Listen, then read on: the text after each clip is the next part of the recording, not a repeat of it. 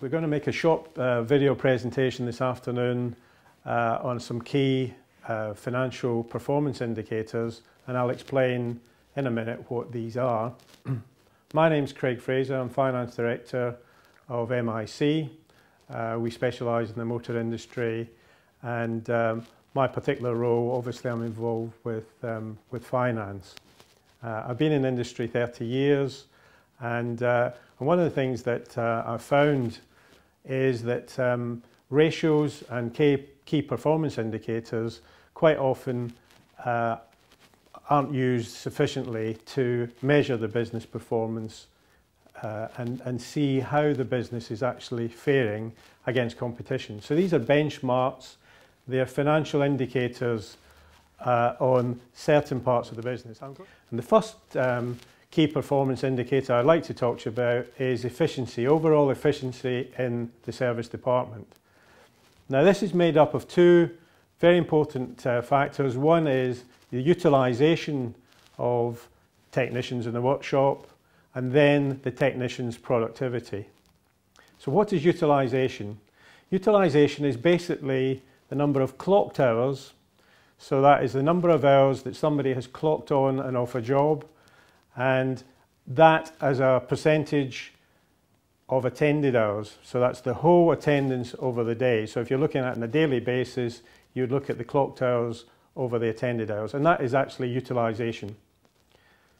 Efficiency also includes productivity, and that again includes the clocked hours. It's now the sold hours that each technician achieves versus the hours that have actually clocked on the job. And if you take these two ratios together, you'll notice that clocked hours will actually come out of it and you'll end up with sold hours over attended hours. So the key efficiency ratio, the key performance indicator, is sold hours versus attended hours.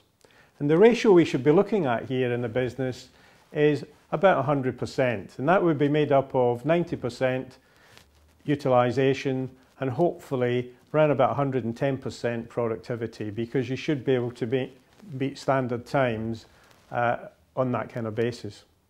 I'd also like to um, talk a little bit about gross profit and what that means to you in the service department. And the gross profit percentage is obviously the margin that you make on the hours that you've sold. And that ratio basically is hours sold times the labour rate. So whatever rate you're charging out times the number of hours sold minus the hours you've actually paid your technician. And that is then divided by the hours sold times the labour rate, and that will give you your gross profit percentage. Now, you should be aiming to get a margin, gross profit percentage, of around about 75%. If you're getting lower than that, then you would have to look at the causes and why. And it could be that um, you are just not charging enough or you're actually paying your technicians too much. Having, having uh, explained the gross profit percentage to you and what that means and the ratio we're looking for, that then gives us a guide to uh, another very, very important KPI, which is a barometer or a measure of your expenses to that gross profit. So in this particular KPI, we'd be looking at the service expenses, the direct expenses to the service department uh, as a proportion of service gross profit. So you've already calculated your, your gross profit and you then take your expenses and divide it by that gross profit. Now the key here is you should be aiming for about 50%. Now businesses that I go into uh, and get involved in, terms of trying to improve their profitability, I often find that the ratio here can be quite high. It can be 65% or even above. If that is the case, then it's very, very difficult to get the return you want from the service department because your expenses are far too high. And therefore, that 50% is fundamental in terms of a benchmark that you should be aiming for.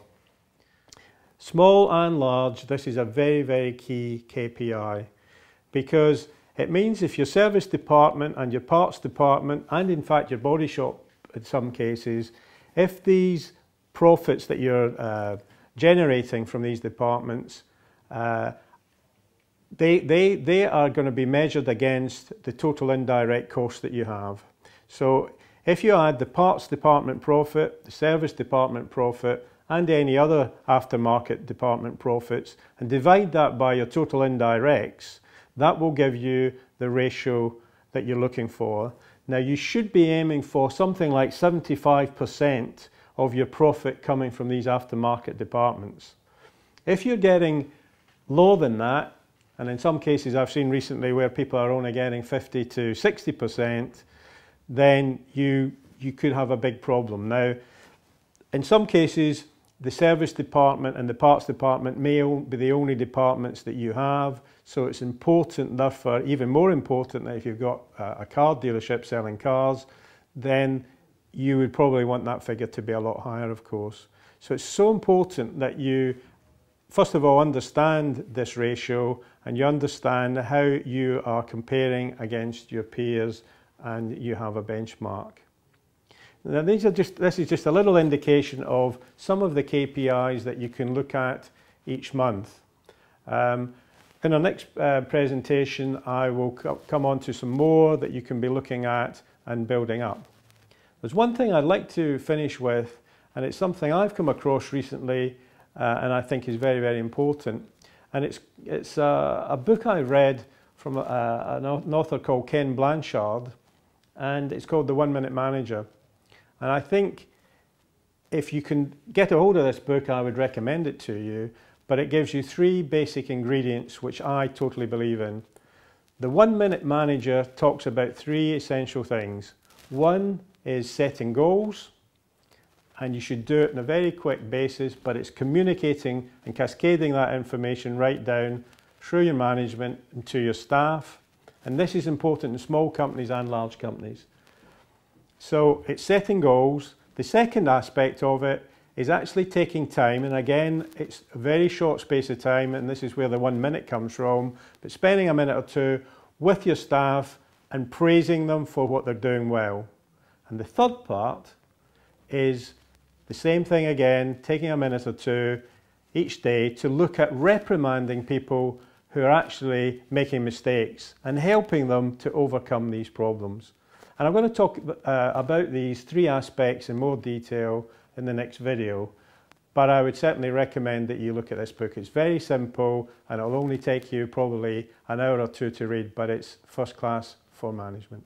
Thank you very much this afternoon.